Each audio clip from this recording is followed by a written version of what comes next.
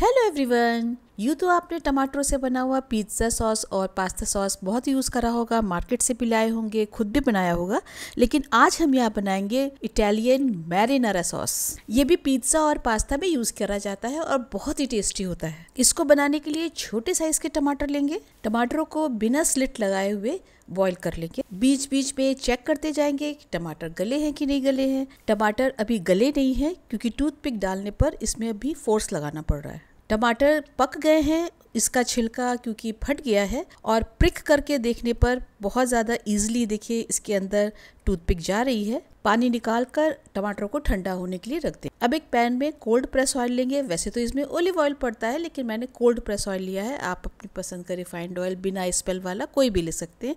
उस पर मैंने डाल दिए हैं आठ दस लहसुन की कलियाँ।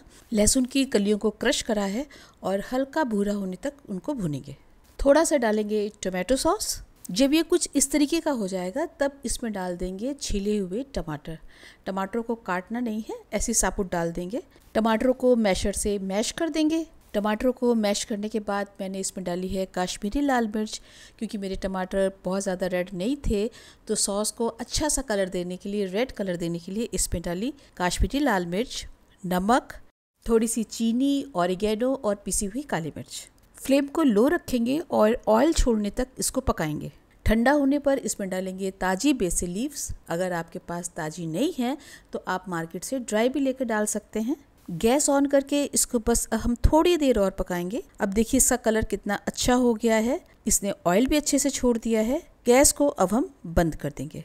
इसको ठंडा करेंगे और ठंडा करने के बाद देखिए कितना ज़्यादा ये कलरफुल, कितना टेम्पटिंग लग रहा है। मैं तो इसको ब्रेड से चेक कर रही हूँ। आप इसको बना के एक बार मेरे कहने से ज़रूर खाइएगा और मेरी गारंटी है कि आपको ये ज़रूर पसंद आएगा। इसको बनाने में कोई बहुत ज़्यादा पैसे नहीं लगने, कोई बहुत ज़्यादा मेहनत नहीं करनी। इसलिए मेरे कहने से आप इसको एक बार बना के टेस्ट ज़रूर करिएगा। फिर क्या है, मेरे इतने अच्छे से वीडियो को आप लाइक और शेयर तो कर ही दीजिए और मेरे चैनल को सब्सक्राइब कर दीजिए। मिलते हैं फिर नई रेसिपी के साथ। Till then bye